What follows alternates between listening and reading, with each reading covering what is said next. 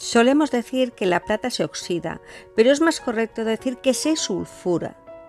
El azufre y la plata son muy amigos, pero cuando aparece el aluminio, el azufre prefiere este a la plata y se desplaza de él, quedando la plata limpia sin ningún esfuerzo. Lo primero que haremos es calentar agua.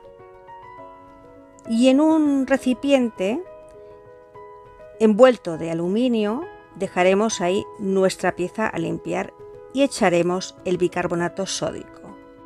Inmediatamente incorporaremos esa agua hirviendo y se hará el milagro, aunque realmente no es un milagro, es pura química.